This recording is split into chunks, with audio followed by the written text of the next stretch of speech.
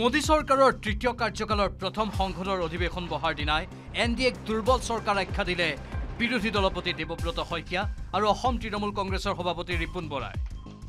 মোদীৰ তৃতীয়টো কাৰ্যকালৰ চৰকাৰক ওলমা চৰকাৰ আখ্যা দি ৰিপুণ বৰাই ক'লে এই চৰকাৰ স্থায়ী নহয় কেতিয়া ভাঙে তাৰ কোনো ঠিক নাই। একৈছটা ভোট বেছি লৈ এটা চৰকাৰ কৰাটো এইটো কিমান ৰিস্কি ৰিস্কি কথা। কিমান বিপদজনক আপুনি চাওক এনি মুমেণ্ট চল্লিছটা পাৰ্টি এনি মুমেণ্ট গতিকে এইটো সেইকাৰণে এই গভৰ্ণমেণ্ট কিমান দূৰ স্থায়ী হ'ব এই কথাটো কোৱা বহুত টান।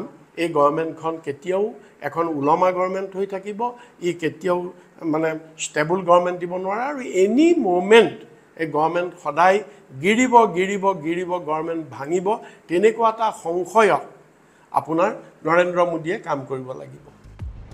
চল্লিছটা দলৰ সহযোগত গঢ় লৈছে এন ডি এ চৰকাৰ। দেৱব্ৰত শইকীয়াৰ মতে বিজেপি দলে বহুদলীয় প্ৰথা একেবাৰে বিশ্বাস নকৰে।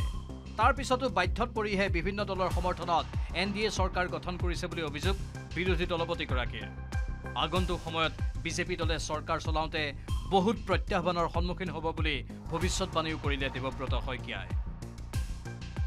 আগন্তুক সময়ত যেতিয়া আমি বিভিন্ন কাৰ্যসূচী ৰূপায়ণৰ সময় আহি পৰিব তেতিয়া বিজেপি দল যথেষ্ট প্ৰত্যাহ্বানৰ সন্মুখীন হ'ব ই নিশ্চিত ইফালে অসমত উপ নিৰ্বাচন পতাক লৈ মুখ্যমন্ত্ৰীয়ে অনিশ্চয়তা ব্যক্ত কৰাৰ পিছতে প্ৰতিক্ৰিয়াত সৰব হ'ল দুয়োগৰাকী নেতা।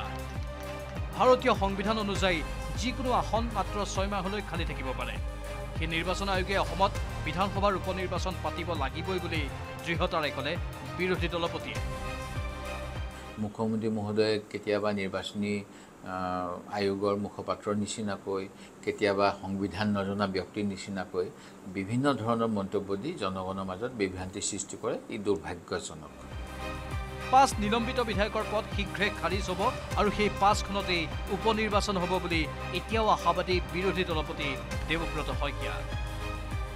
এই ক্ষেত্ৰত অধ্যক্ষ মহোদয়ক আমি যিমানবোৰ আৰ্জি দি থৈছোঁ ইয়াৰে দুটা দুজন বিধায়কৰ ক্ষেত্ৰত অন্তিম শুনানি বাকী আছে আৰু আমি আশাবাদী কেইখন আসনেই ডিছকুৱালিফাই হ'ব আৰু নতুন নিৰ্বাচন হ'ব।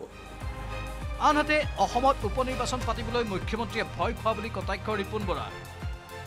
তেওঁৰ কথাৰ কোনো লাগবান নাই নে? তেওঁ মনত যি আহে তাকে কয়। তেওঁ কিবা এটা কাৰণত আজি চিফ মিনিষ্টাৰ হৈছে বেলেগ কথা। তেওঁ নিজে নাজানে নেকি নিৰ্বাচন ভোটাৰ লিষ্ট আছেনে নাই? নিৰ্বাচন হ'বনে নহয়? এইটো তেওঁ ক'বলৈ কোন? এইটো নিৰ্বাচন আয়োগে। সকলো কথাৰ সাৰমৰ্ম হিচাপে ছাব্বিছত অসমত বিৰোধীয়ে চৰকাৰ গঠন কৰাৰ দাবীত অটল হৈ থকা বুলি সদৰি কৰিলে দুয়োগৰাকী বিৰোধী নেতাই। ইফালে প্ৰদেশ কংগ্ৰেছৰ সভাপতি ভূপেন বৰাৰো আশা ছাব্বিছত ৰাইজে ভোট দিব কংগ্ৰেছকে। বিপুল বৰ্মনৰ report news eighteen Assam north east.